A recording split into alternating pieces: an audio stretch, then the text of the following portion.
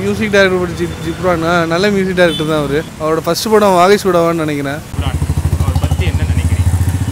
இல்லை நான் திங்க் பண்ணுறது ஜிப்ரான் சாரோட அவரோட யூனிக் ஸ்டைல் வந்து ரொம்ப பிடிக்கும். அவர் இன்னும் நிறைய படம் வந்து ரொம்ப ஃபெமிலியராக நிறைய பண்ணலை அவர். அவர் பண்ண படம் எல்லாமே வந்து ரொம்ப யூனிக்காக இருக்கும். எனக்கு ரொம்ப பிடிச்ச ஃபேவரட்டான படம்னு பார்த்தீங்கன்னா வாகேஷ் உருவா அதில் வந்து அந்த ரெட்ரோ ஸ்டைலில் ரொம்ப நல்லா இருக்கும். அந்த சாங்ஸ் ஒன்று ஒன்றுமே இன்னமும் வந்து பார்த்தீங்கன்னா எல்லாருக்கிட்டுமே வந்து ரீச்சில் இருந்துகிட்டே இருக்குது பட்டையை கிளப்புறாருங்க அவர் மியூசிக்லலாம் ஆனால் ராஜேஷ் எல்லாம் சான்ஸே இல்லை. பிஜிஎம்லாம் சக்க போடு போடுது அவரோட மியூசிக்லாம் ரொம்ப நல்லா இருக்கும். ஸோ பேசிக்காக வேறு மியூசிக் நல்லா இது. கமல் சாருக்கு பண்ணியிருக்காரு ப்ளஸ் வந்து இவங்களுக்கும் பண்ணியிருக்காரு தீரன் அதிகம் அவங்களுக்கும் பண்ணி கார்த்திக்கும் பண்ணியிருக்காரு ஸோ மை எக்ஸ்பெக்டேஷன் என்னன்னா அஜித் சாருக்கு போனால் ரொம்ப நல்லாயிருக்கும் ஆமாம் தீரன் அதிகாரம் நல்லா இருந்தது அருமையாக இருந்தது அந்த நைட்லலாம் அவங்க பார்க்கவே முடியாது படம். அந்த அளவுக்கு இருக்கும் பிஜிஎம்லாம் நல்லா பண்ணணும் அவர். அவரோட பிறந்தநாள் வாழ்த்துக்கள்.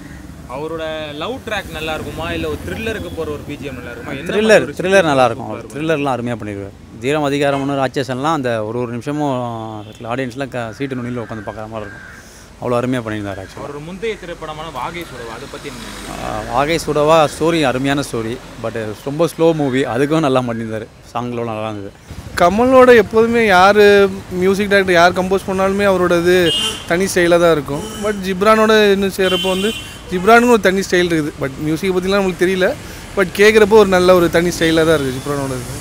ப்ளஸ் வந்து இப்போ ராட்சசன் படத்தில் வந்து அவருடைய பிஜிஎம் ஸ்கோர் வந்து ஒன்றொன்றுமே வந்து அந்த அளவுக்கு அந்த ஒரு ஹாரர் அந்த ஸ்கோப்பில் இன்னும் படம் இன்னும் அடுத்த லெவலுக்கு கொண்டு போனது ரொம்ப நல்லா வந்து.